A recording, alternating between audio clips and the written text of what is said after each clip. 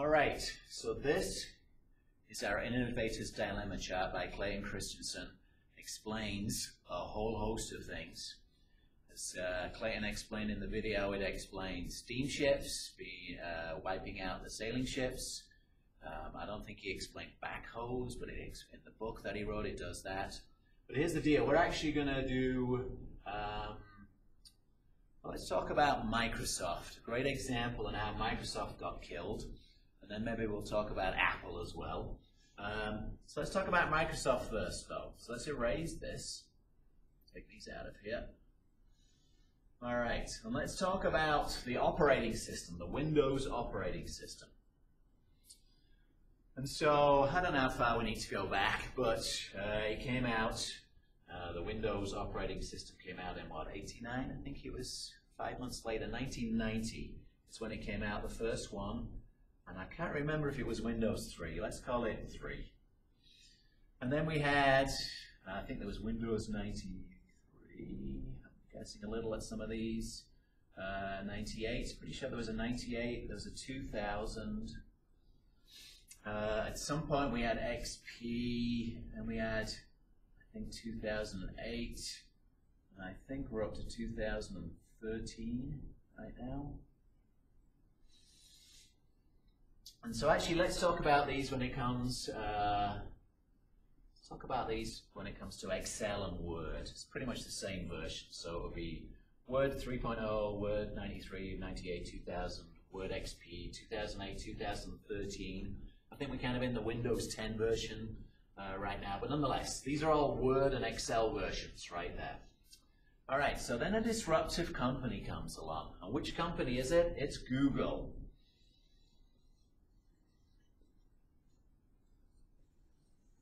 So, it releases its first products. Do you remember what its first product was?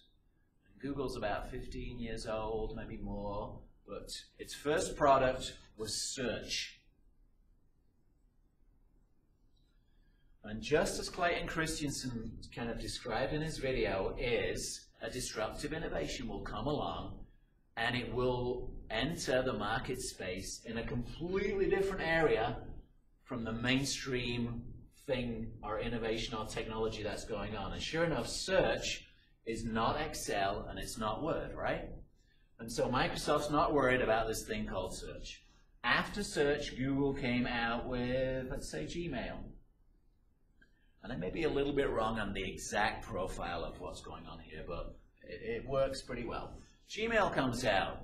Does Microsoft Word care about that? No. Does Microsoft Excel care about? No. But here's Google growing their market space. So what comes out after Gmail?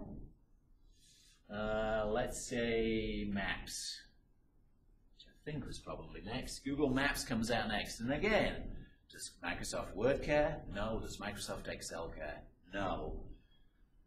Google's still growing its market share. What does it come out with next? Let's put it in there. Google Docs. Some of you may have thrown Chrome in there, and that's fine.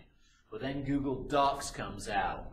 And look what happens. Google Docs now actually is in the same market space as Word and Excel. But the thing about Docs is when it first comes out, how many features did it have? Well, I'll tell you what, let's just play a little game on features, okay? And let's go through how many features, so the game is this, how many features in a week do you use in Microsoft Word? So I'll start you off with file open and file close. And what are some of the other examples you may have? So there's bold, underline, italics.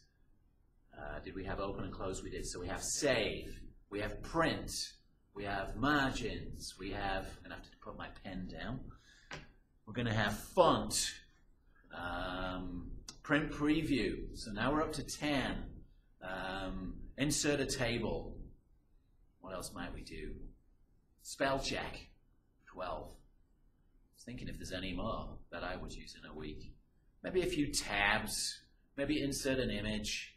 But you see what's happening here? I haven't even gotten to 20 features that I need, and I'm already running out and struggling a little bit. How many features do you think are in Word 2013 or even Word for Windows 10? Well, if you pull down on every single menu, you would get about one and a half to two thousand features. This is almost the very definition of overshooting what the mainstream marketplace can use. It works very well for geeks, but you are overpaying. And when Docs came out, all it did was about 20 things, the 20 things I just listed. And so it underperformed what most people could use, but who was the underperformance for? Well, it was fine when it came to students and school kids. And so Docs was released pretty much into the educational market space where students just like you got to use an online word processing uh, environment that cost them nothing. And then Docs got better and better and better over time, and now it's got, I don't know how many features, maybe 200, which is still way less than 2,000, but no one needs 2,000 features, or very few people need 2,000 features. And here you have Google Docs now competing against Microsoft, and Microsoft has nothing that it can do except release Office 365 for free. And the problem with that is they have a massive infrastructure that has supported all this. They've got a lot of people, a lot of programmers, a lot of the marketing people. Google, it set this up and it was free when it first came out and it still is free. How does a company that sells a product for $139 have to start giving it away? How does it even survive doing that when it's not been building things all along for free? And that's the innovator's dilemma. It's really hard for Microsoft to pay attention to its best customers and see where it's going to get killed by a company like Google coming out with search, coming out with Gmail, coming out with Maps, and then finally coming out with the app that's going to kill Microsoft. There are, Microsoft's already too late to take on Google at this point. So here you go, the innovator's dilemma, perfectly explaining how Google is going to take on and wipe out Microsoft. Brilliant, brilliant theory, really well put together.